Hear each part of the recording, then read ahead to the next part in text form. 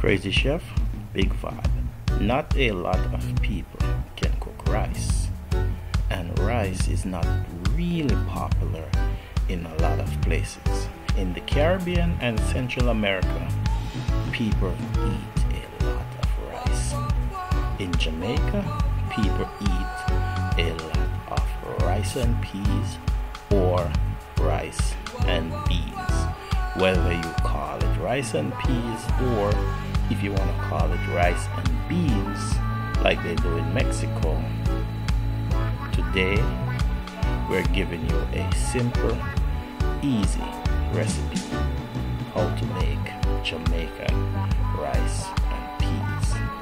The key vibe is to get your rice so shelly, not too soft, not too hard, and to have that delicious Caribbean flavor.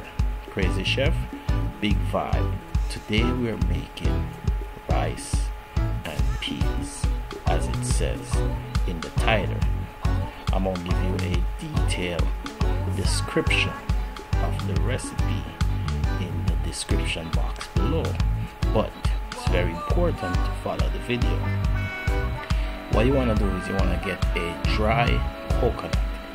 If you don't wanna use a dry coconut, you can use that stuff in the can, but this stuff is better. You wanna have your rice, you wanna have your beans. What you wanna do is you wanna cook your beans until they're soft. If you don't wanna use dry beans, you can use canned beans. There's always ways to make your life easier. It's the taste that matters, not the preparation. So you get some so if you don't want to use dry coconut, that's fine. The important is your seasoning, your spices, and it's most important is the amount of water that you use. But the dried coconut gives it that vibe, like it really make it taste that much better. And to get the juice from the coconut, all you gotta do is take a dinner knife, take the meat from the coconut, and then you grate it or you blend it. I'm gonna leave a link in the description box which tells you how to separate the coconut. So, Crazy Chef, Big Five. Today we're making Jamaican rice and peas. If you want to call it rice and beans, that's what we're making. If you want to call it rice and peas, that's what you're making. But today I'm giving you the Jamaican vibe. So, take your peas, you boil them. You can also cook them in a Instapot, which makes the cooking process way much easier, way much better, way much faster. But I like to do it the old fashioned way, kind of like my grandmother did it.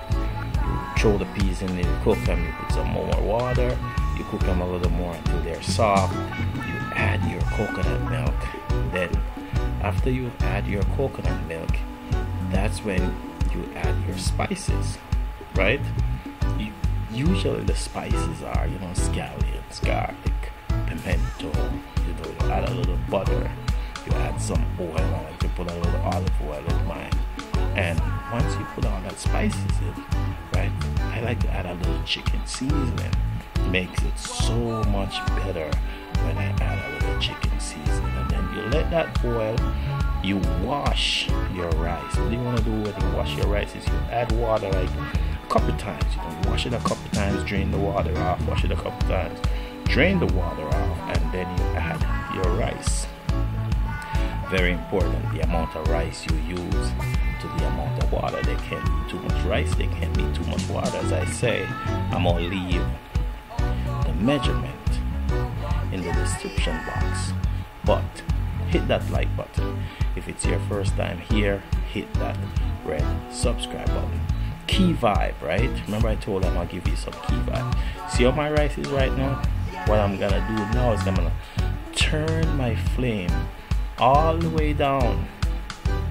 All the way down, I'm gonna turn my flame and I'm gonna just let my rice simmer. So see, add a little bit more salt because I tasted it was the vibe I wanted. Add a little chicken seasoning. Beautiful. A little more scallion, a little more thyme.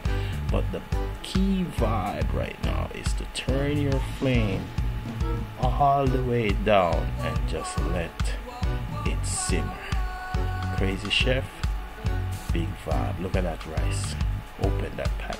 Oh my god, look at that. Look how it just flakes. That's some good rice.